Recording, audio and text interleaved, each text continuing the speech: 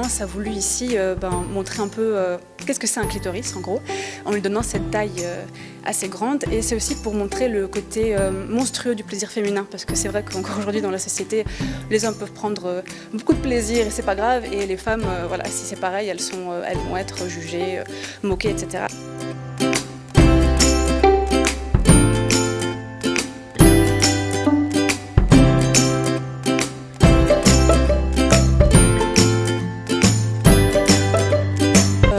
c'est euh, de leur donner une place, de les, euh, voilà, de, les rendre visibles. Et donc on fait des expositions avec uniquement des femmes artistes.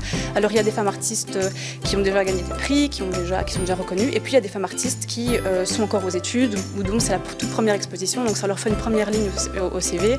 ça leur permet de rencontrer le public, etc. etc. Donc voilà, c'est vraiment dans cette idée de leur donner plus de visibilité.